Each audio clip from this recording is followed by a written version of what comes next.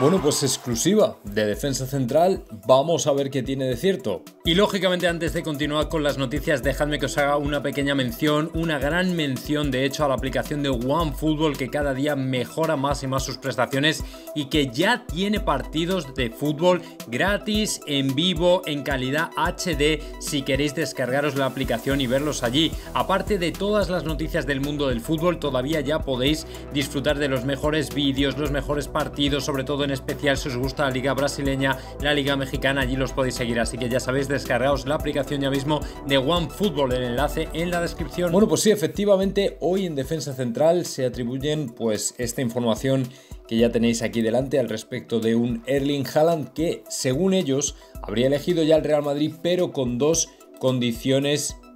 importantes, dos condiciones imprescindibles, dos condiciones que no son negociables. ¿Cuáles son? Esas condiciones que habría puesto el Haaland para elegir al Real Madrid? Bueno, la primera de ellas es obviamente la del salario que él entiende que vale, es decir,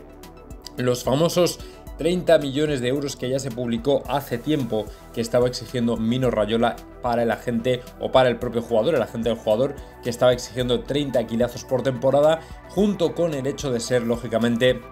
el mejor pagado de la plantilla junto con Kylian Mbappé como podía ser si no de otra manera. Y es que efectivamente, a pesar de que el jugador elige además el proyecto del Real Madrid, entiende que tiene que tener un salario acorde a lo que él representa ahora mismo, que es uno de los mejores eh, jugadores, delanteros, goleadores de Europa, a pesar de lógicamente la lesión que le está apartando de los terrenos de juego. Esa sería la primera. La segunda de ellas sería un número mínimo de partidos, lo cual a mí personalmente me choca bastante en el sentido de que jugadores como Erling Haaland sabes que van a estar siempre en tu equipo, es decir, sabes que van a estar siempre, prácticamente siempre, en el 11 titular, salvo que algo lo impida. Evidentemente nadie a día de hoy en su sano juicio se imagina a un Real Madrid que tenga Erling Haaland y tenerlo en el banquillo prácticamente desperdiciado, es decir, Erling Haaland tiene que estar, si llega al Real Madrid en el 11 inicial, prácticamente desde el primer día y lo que habrá que ajustar será el sistema, pero no al jugador. Daos cuenta de que Haaland, Mbappé, Vinicius, Benzema pueden aportar muchísimo